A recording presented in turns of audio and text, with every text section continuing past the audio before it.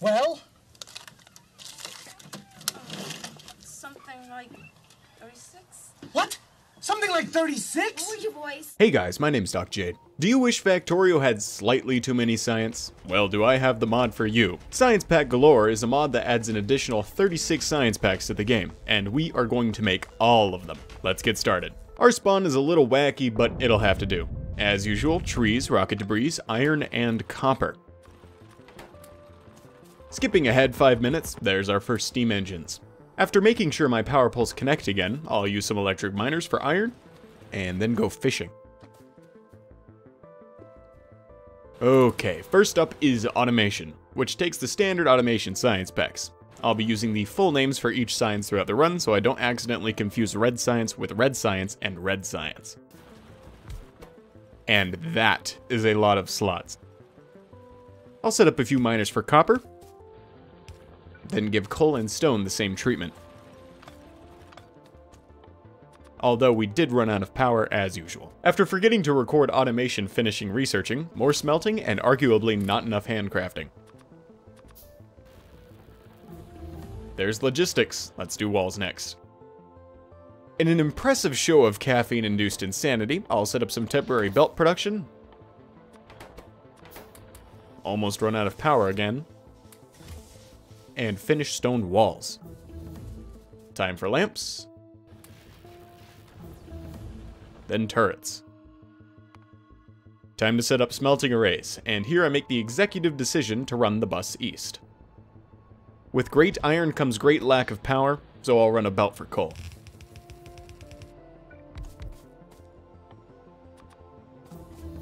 There's turrets. Next up is, uh, military. After finishing the coal mine, I'll paste down the smelting arrays. Finish military. And start steel. Am I procrastinating making the new sciences? Totally. After some light mass deforestation, the smelting arrays are finished. I'll plug in the ores, expand power some more, and drill for more of our ore. More science packs and belts later, the bus begins. While setting up belt production again, steel finished. There's no more avoiding it. Time for our first new science pack. Raw science. Iron and copper ore. Not too bad to be honest, good thing it can only get worse from here. But first, let me finish setting up belts, inserters, stone bricks, and walls. And why not, turrets too. And second, the pollution is getting pretty close to that nest. And I can't even see over here. So let's place a radar and set up ammo production. Okay, now we can get started on science. Never thought I'd see the day where I'd need copper ore on the bus. First up is automation science.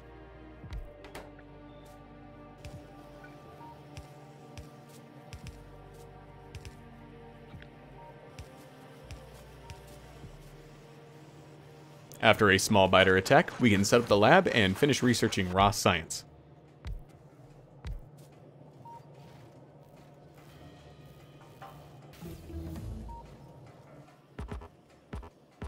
A quick copy and paste later, we've got raw science. With it, we can research electronics.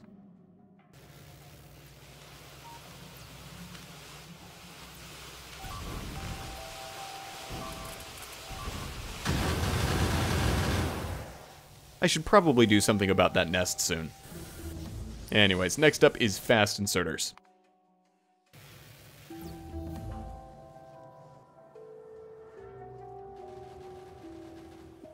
Now for some pretty standard green circuits. 3 to 2, just like blackjack. Around now I would start building walls around my base, but since laser turrets are eons away, I'll try a different approach. For now, let's just ignore the biters altogether and keep working on science. Next up is basic military science. Then basic logistics science. Both of these are relatively simple, if not a tad odd. Basic logistics science takes splitters and burner inserters.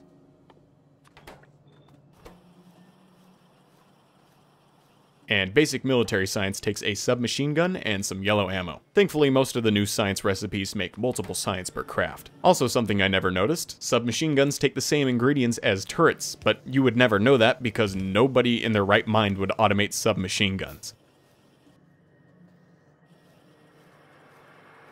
After dealing with some opportunistic biters, two more sciences down. Only 39 to go. Eventually, I plan on transitioning to a rail base, but trains are still quite far away. Oh well. Next up is electricity science, then defense science.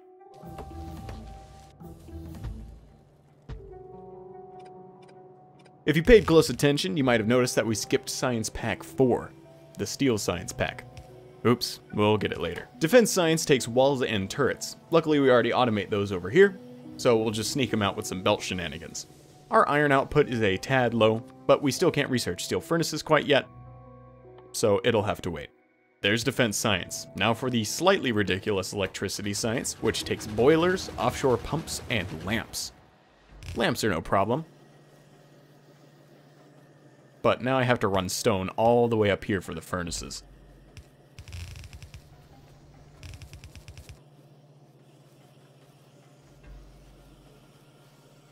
Offshore pumps aren't too bad either, we'll just have to squeeze gears in here.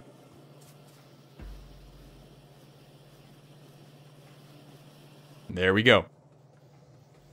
Now I finally realize I forgot to do steel science, which means the belts are also in the wrong order. Oh well, we'll research that. Logistics science, then redesign the labs so we can have more inputs. After another delightful visit from the biters, I returned the favor, then started reordering the belts. Now for steel science, which is pretty easy. I'll just make the steel on site since we don't have a smelting array for it yet. Let's go chuck it in the labs.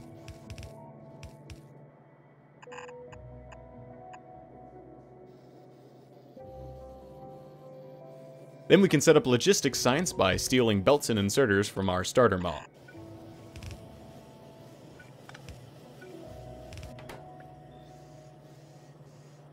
A bit of belting later, we can start researching again.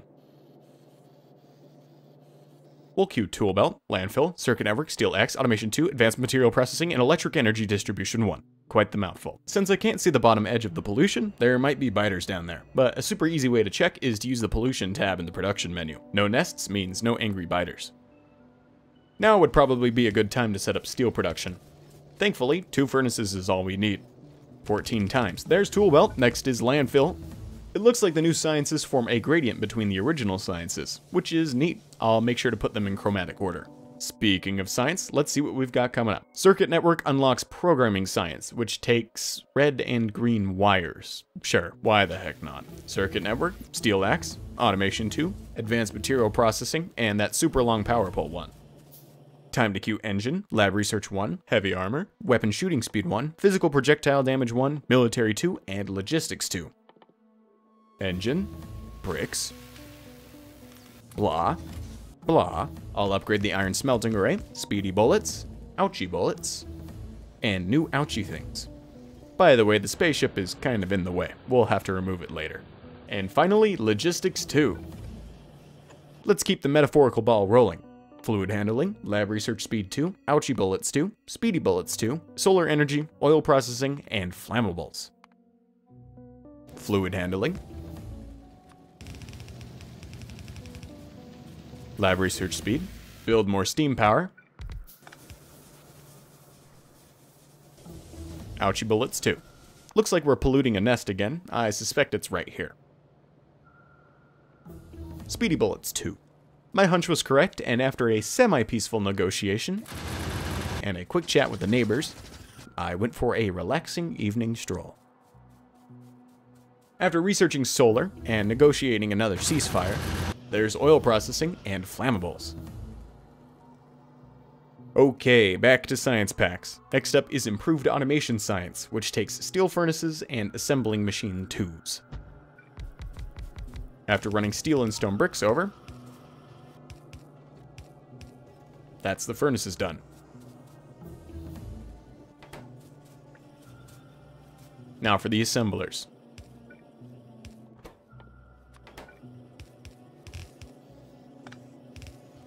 Not too hard either. The craft times are pretty long, but we get 30 science packs per craft. That's 29 more than one. After some more psychosis-induced belt weaving, let's get started on the next one. Assault Science. It takes two red ammo and a grenade. Copy. Paste. Research.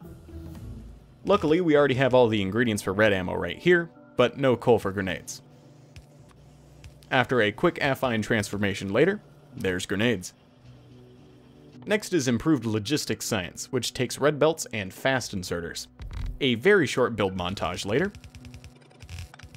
Let's set up the ingredients. I'm noticing that a lot of these sciences so far are super iron heavy, which isn't too big of an issue right now, but it's still pretty concerning.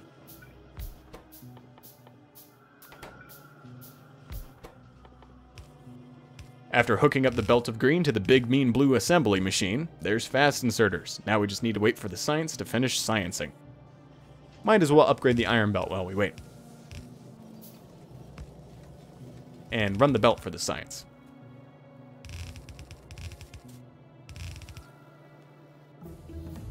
There we go, now I can turn it on, unlike my ex-girlfriend. After chucking it into the labs as usual, next is programming science, red and green wire. Super simple, just copper wire and green circuits. Imagine if red wire took red circuits. Before I could dwell on that thought, biters bit the coal mine.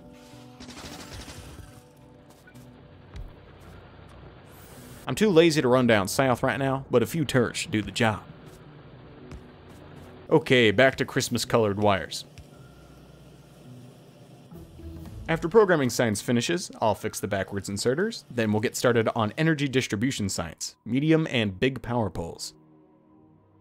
This mod is pretty fun so far. It's not much more complicated than vanilla, plus I get to automate things I've never automated before, like wires and submachine guns.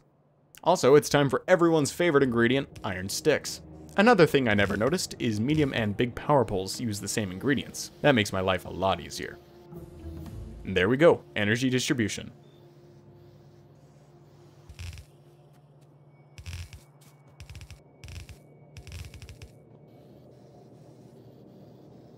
Now I'll research railway to unlock railroad science. That's a lot of steel. After plagiarizing my own work again, and moving stone up the bus yet again, I'll queue the prerequisites for automotive science, cars, and concrete, the American Science Pack. Rails are done, now for the cargo wagons. And that's railroad science.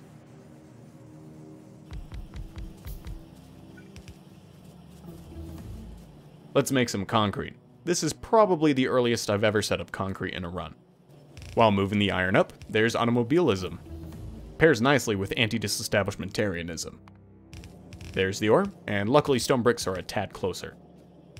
After getting some water, there's concrete. Now for cars, which take engines, so this will probably be pretty slow.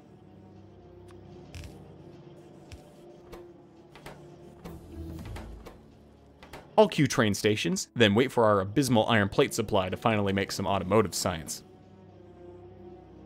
After belting the science like my dad belts me, let's go take out this biter nest that's a little too close to the pollution cloud. Train stations. Next up is rail signals.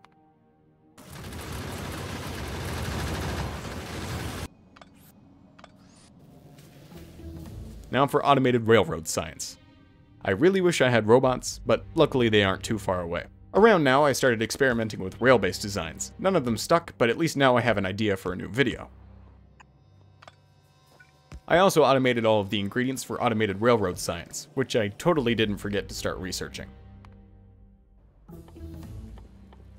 Iron supply is still dropping, so I had to tear down the spaceship to squeeze out just a little bit more from this patch.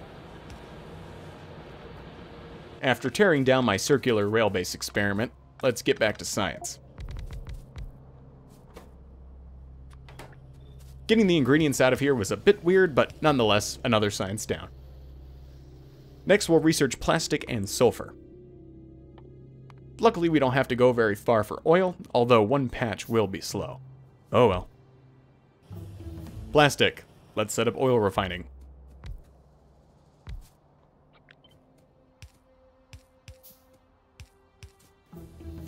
And there's sulfur. Now for petrochemical science. Even though we don't have advanced oil processing, might as well set up the entire cracking setup right now before I forget.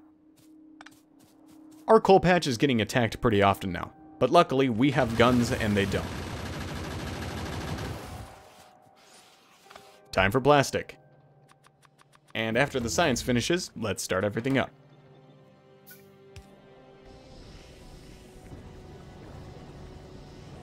After throwing together some sulfur production, there's petrochemical science, which is totally not missing a long inserter. Let's get this back over to the labs.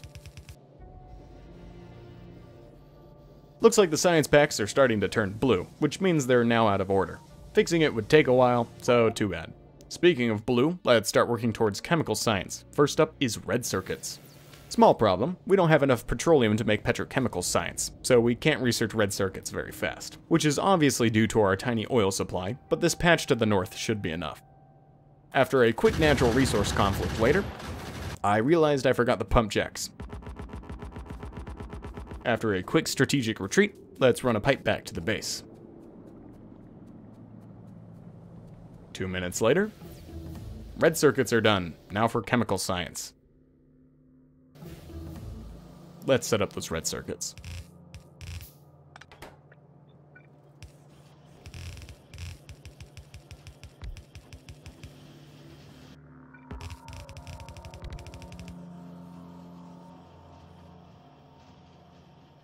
Next up is engines.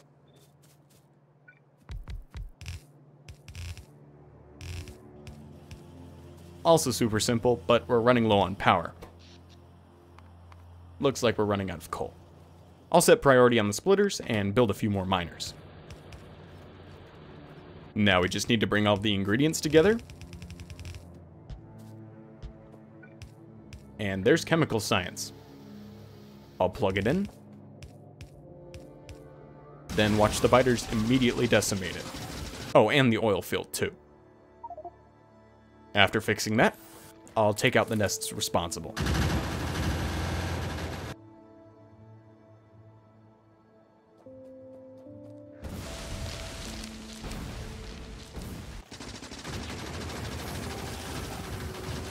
You know, right now would probably be a good time to research some more shooty shooty bang bang.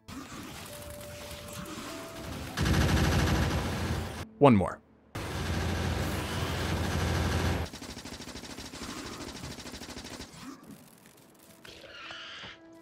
Coincidentally, next up is military science, and more kablamo. All of the ingredients for military science are already scattered around the base, so the science is just a quick game of hide and seek away.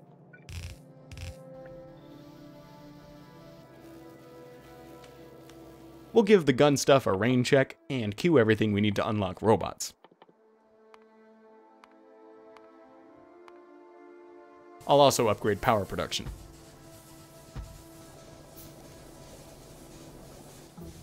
Advanced oil processing. I'll go ahead and switch the recipes on the refineries and finish setting up cracking. And right on time, there's lubricant. I made the mistake of taking a quick peek at some of the upcoming sciences. Luckily, I won't have to set up either of these for at least 50 hours. No, I am not kidding. Luckily, there's no better time than the present, and presently, we've unlocked electric engines. Let's set them up. And there's batteries as well, but we'll build them later.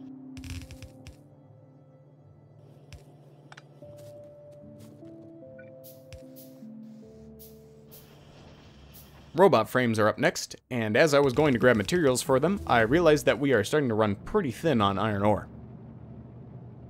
Yar, there be iron board off port quarter. But biters attacked, research finished, and I left the oven on. So let's switch back to gun upgrades before we set sail.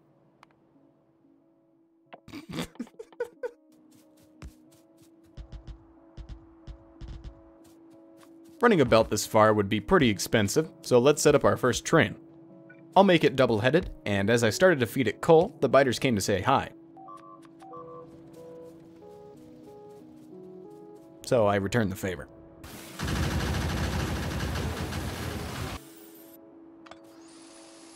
This one too. I totally forgot that I had a car, so let's go check out the biter bases next to the new iron patch. Yeah, that's a lot of worms. I'll deal with that later. Let's finish the iron patch, shall we? After running back to grab more plates for belts, I laid the track back, set up loading, and plugged it in. We'll fix the power problems later. After stationing a standing army and picking a pretty color, I'll set up unloading. It may look stupid, but it works. Okay, back to robots. Let's finish setting up the flying robot frames. After bringing steel over, it's battery time. And after setting up the sulfuric acid, I went to check on the steam engines to see if they were low on coal. Turns out, I accidentally unplugged the left one. Back on topic, batteries are done, and after bringing them up, we can start making the frames.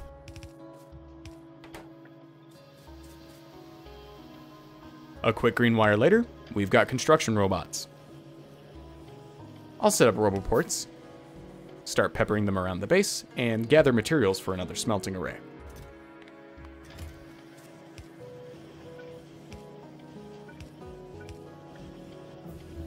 There's projectile damage, which reminds me I should probably queue Military 3. Someone told me that poison capsules are overpowered, so I'd like to try them. While I started automating all of the kinds of inserters, the biters decided to make the most aggressive expansion I have ever seen.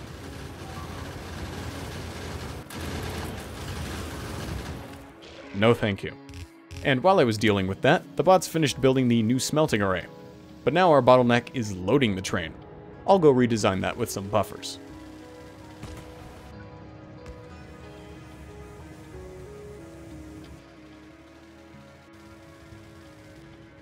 Then I'll upgrade some more belts around the base. But now I can't unload fast enough, so I'll double it. I should really take out these biter nests next to the iron ore patch, but military 3 still isn't done. I'll bump it to the front of the queue. Then we can go take out those biter nests the old-fashioned way.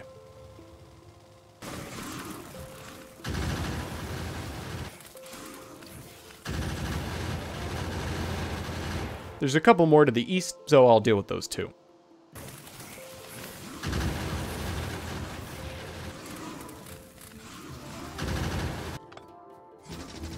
Military 3 is done.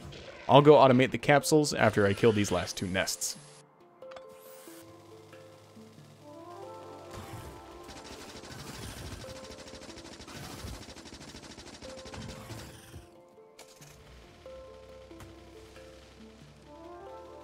The capsules are pretty cheap, just coal, steel, and green circuits. After getting jump scared by some bots, we've got capsules. I'll go try them out right after I improve red ammo production for military science. Also, there's weapon shooting speed 3, now for some mining productivity.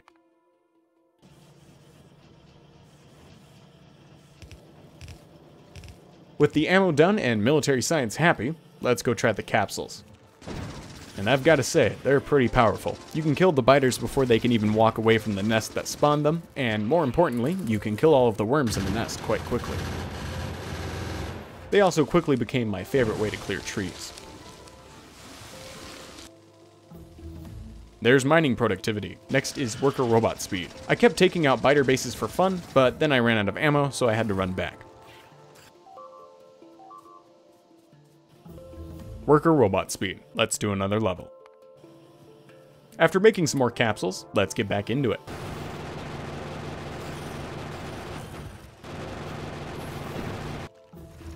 Worker Robot Speed 2.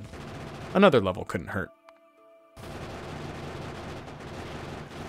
After a bit more exploring and preemptive maintenance, we shouldn't have to worry about biters for quite a while.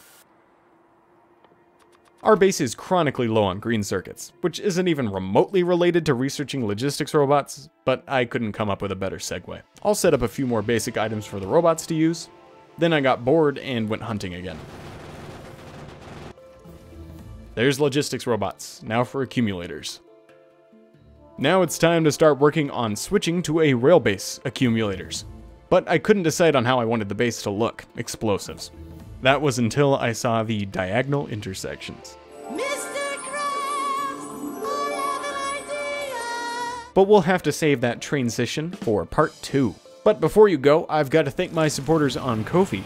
Their contributions continue to contribute to the continual collapse of my questionable cognitive condition. And that's all for today. My name's Doc Jade. Bye bye.